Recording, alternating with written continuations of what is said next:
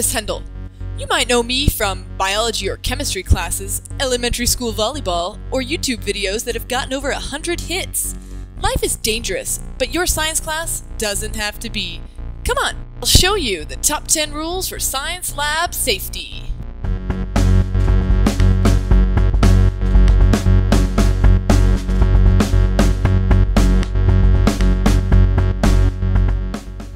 If a lab calls for goggles, they must be worn during the entire period. Your teacher will most likely have a class set.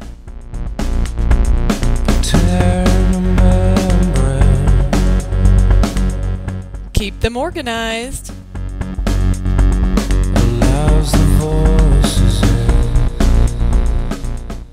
You may choose to purchase your own goggles. However, they must be standard ANSI Z87.7.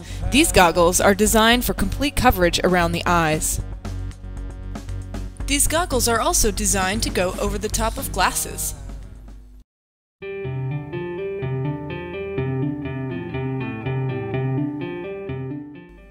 If you accidentally pour excess chemicals, do not pour them back into their stock containers, the containers that store the chemicals. They may contaminate the original and create a reaction.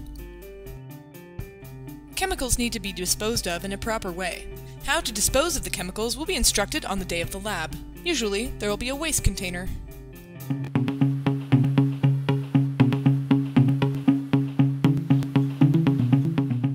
Sometimes you'll have to move lab equipment around the room. Carry all lab equipment and chemicals with two hands. Be careful with the equipment and treat them with respect.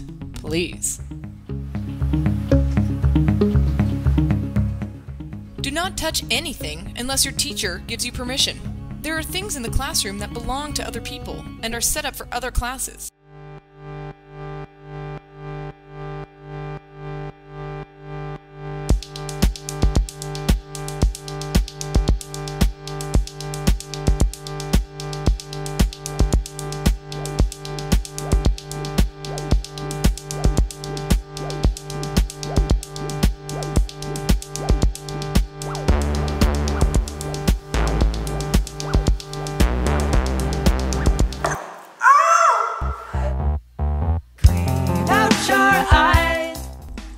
If you get chemicals into your eyes, you will need to wash them out for 15 minutes at the eye wash station or at a sink.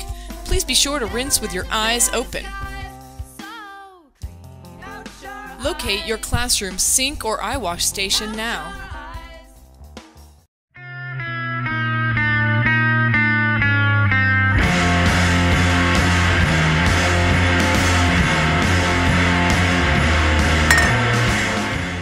Do get chemicals on your arms or skin, you will need to wash the burned area for 15 minutes. Don't worry about making a mess. Please saturate the area with water. Please locate your safety shower now.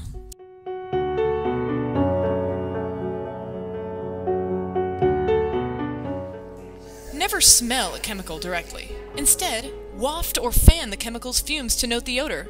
Try this at home.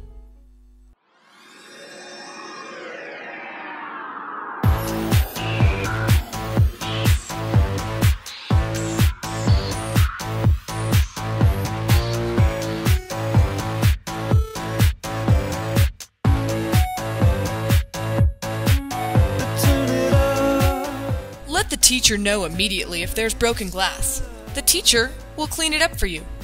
This doesn't mean, however, that you get to go around breaking glass. Do your best to avoid such accidents.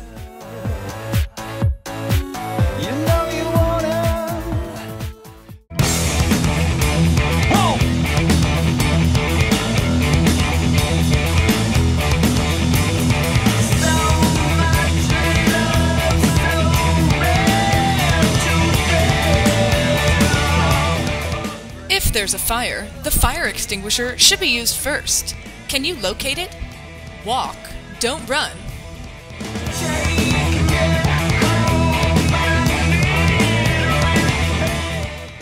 Remove the safety clip.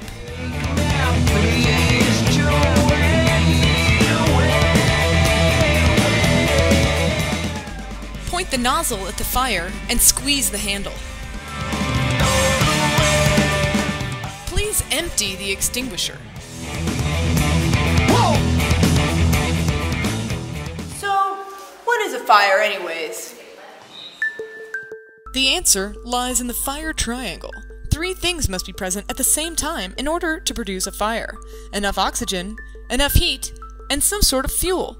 If you take any of these three things away, you will no longer have a fire and the fire will be extinguished. Essentially, fire extinguishers put out fire by taking away one or more elements of the fire triangle. I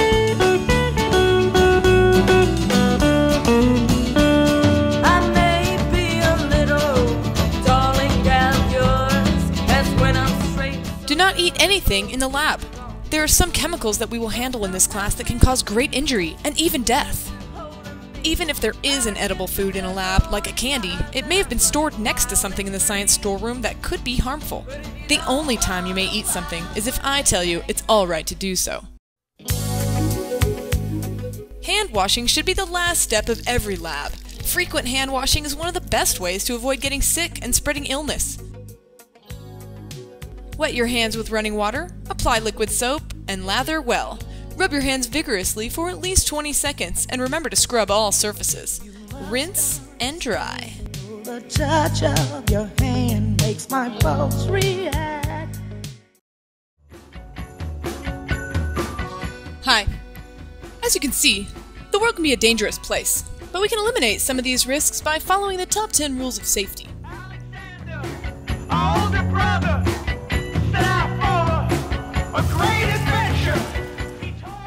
Enjoy your year and see you in the lab.